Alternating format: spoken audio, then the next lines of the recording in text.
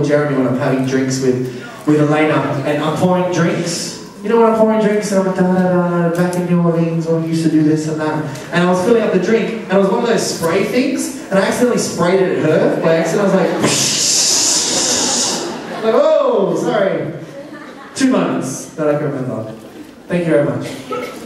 Okay, next question. Deep. Come on, deep. Let's go deeper. Let's go deeper into the bottom of that notch. Who's your best buddy on set? I don't have friends. Um, I